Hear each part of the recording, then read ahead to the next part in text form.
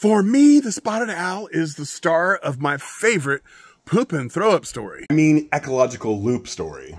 Ecological loop, for example, is a cycle where living things help each other, like trees feeding a fungi, and that fungi feeding rodents, rodents feeding an owl, and an owl helping trees. The spotted owl is an ambush predator, often sitting silently in the branches of a big, old Douglas fir tree, and it's looking down from those high branches for a red-backed vole to strike, kill, and eat.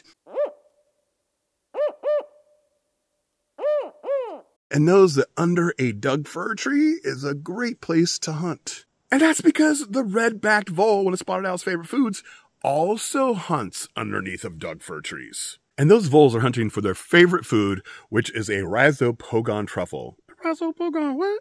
A rhizopogon truffle. It's an underground, nutrient dense, smells really good fungi that kind of, if you dig one up, it kind of looks like a marshmallow monster's brain.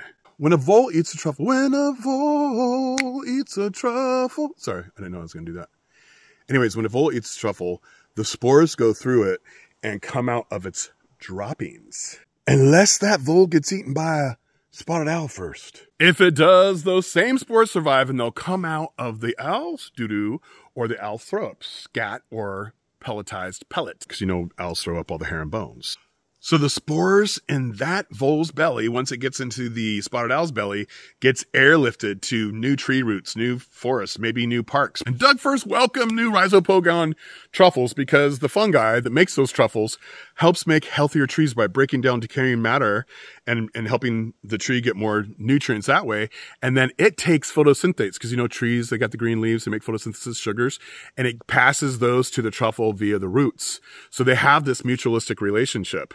However they travel inside of a vole and a spotted owl, they the spores of the rhizopogon truffles survive and get pooped or thrown up out and connect with new trees. But if a forest is clear cut and all the wood is hauled away, hauled away or burnt, then this ecological loop, the system falls apart.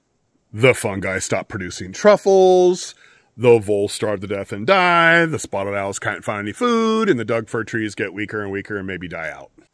It's a perfect ecological loop. Owls need the big old growth Doug fir trees for nesting habitat and to create the habitat that its prey items like flying squirrels and redback voles like.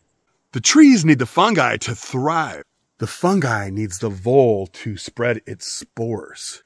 And the vole is a great food source for the spotted owl. Break any part of the circle and all four species are at risk.